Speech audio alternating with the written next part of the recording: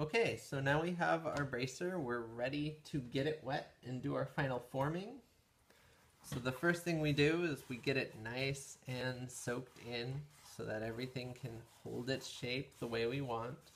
And the trick to bracers is when you're trying to match the form, it doesn't have to um, mimic your forearm exactly. Uh, although it would be nice because it's really pliable, it's going to be able to move one way or the other. So if you were to be worried about, um, you know, the geometry of your wrist relative to the geometry of your forearm, just know that you're sort of a tapered tube, and we've we've done a good job of mirroring that. Um, so there's a couple of things you can do to accommodate that form. You can have pre-made shapes that you're going to wrap it around. You can um, use rubber bands, which is always good. Um, you can also incorporate other forms, and we're going to cover that. So if you start out with rubber bands, that's okay. Um, you can just wrap it around. Just know that you're going to end up with a shape that's not necessarily uh, your desired form. Right, so if we've wrapped our material with rubber bands, this is not the wrist shape we want. What we want is actually closer to this shape. And so depending on how you lay that out, um, the rubber bands work fine, but you may need just some dead weight to hold it in this profile. You may want to take your wood block and sort of wedge it in where you know your forearm's going to be a certain width. Uh, one thing I know I want is I want this material to be flared out on the lip.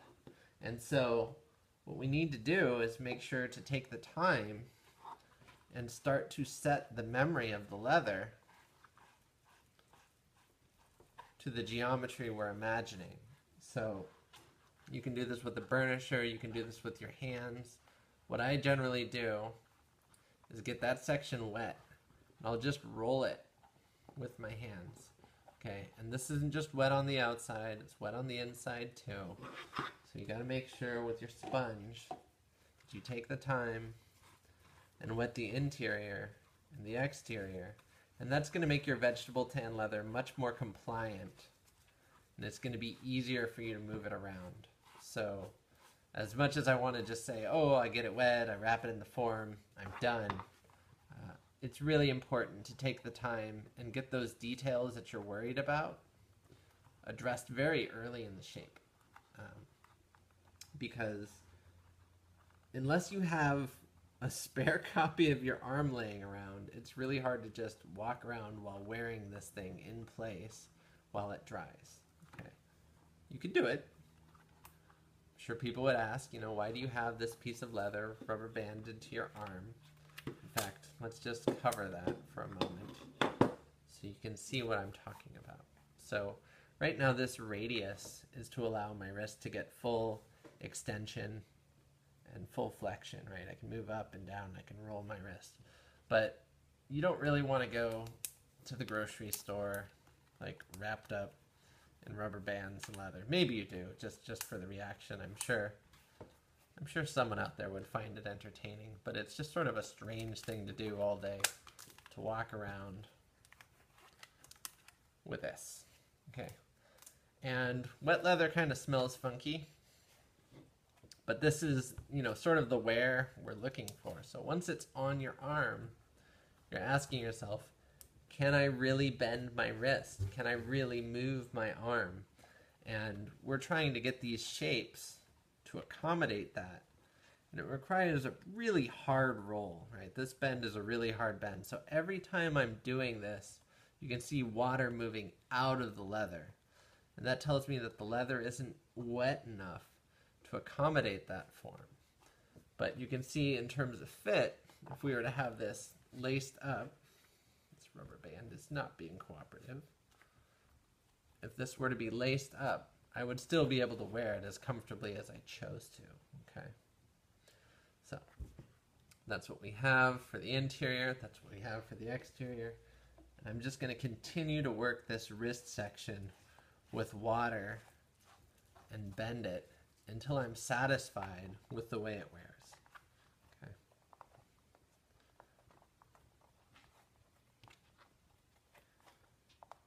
Roll it like that. And again, that's going to allow me to move my wrist now. This is important. I can't stress that enough because at some point you're going to need to do something like when you fall and catch yourself or if you're trying to push something and you really don't want to jam into the back of your hand. There's a whole bunch of tendons and bones there. There's not a lot of padding. So once you get to that point, you're going to ask yourself, what can I do to give my arm, my wrist, a little more room to move while I'm still wearing this arm? So that's our pre-shape. You can see what I'm talking about. We're just going to jam that wood block back in there. It's a good mimic of our forearm. Um, you don't have to use the rubber bands. I like using the tape. The tape works really well. Uh, I like the tape because you can change the diameter at which uh, your leather is going to expand. It's kind of tricky, you know. I'll just set it on the table and then I'll lay it backwards onto itself.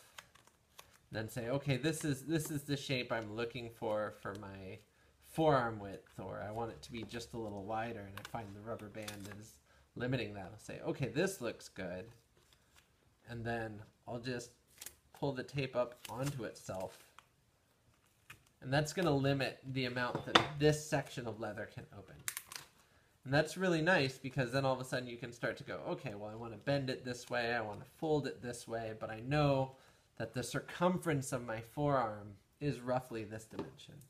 And so when I do the circumference of my wrist, it's the same process where you take the tape, I like the tape because it kind of holds your armor to the table so, you know, if you only have you and, and just your hands to work, that can be a little interesting if you haven't thought about it. So the tape acts as like a smart second set of hands, but it is sticky. So there we go. Now we have a smaller wrist, we have a wider forearm. We're trying to flatten the component a little more. Um, I have these rectangular wrists, so we're just going to put that wood block up into the wrist section. And then all we're trying to do on the end of this is just make sure that one, the tape stays fixed, and two, the wrist section can actually flare open, right? So once you've got it all taped up that way,